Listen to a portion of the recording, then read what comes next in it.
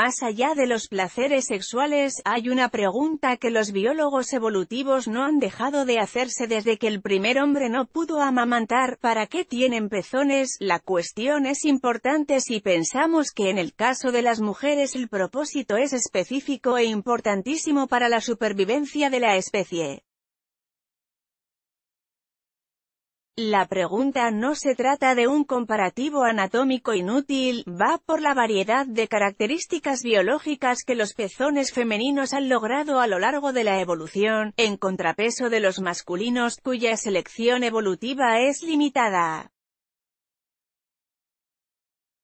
¿Qué significa, que los pezones de las mujeres han logrado gran variedad en tamaño y forma en pos de su función, mientras que las tetillas masculinas siguen iguales desde los primeros erguidos. ¿Para qué sirve saber eso? No.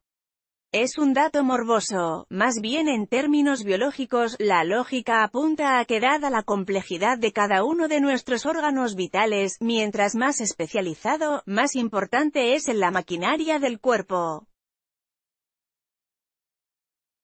La diversidad de formas y tamaños confirma una sana evolución de los pezones. Foto, ver reality, entonces sí, la lactancia ha dado a los pezones de las mujeres la virtud de la variedad y la fortaleza de cualquier dios del Olimpo, son, en resumen, uno de los triunfos biológicos más épicos de la evolución. Pero regresemos a las preguntas, ¿por qué los hombres tienen pezones y carecen de prolactina para estimular el proceso de lactancia? La respuesta es sencilla, son mamíferos y durante el desarrollo embrionario. Los pezones se desarrollan antes de la determinación del sexo del embrión, durante la formación primaria de las glándulas y el tejido mamario, alrededor de las cuatro semanas de desarrollo.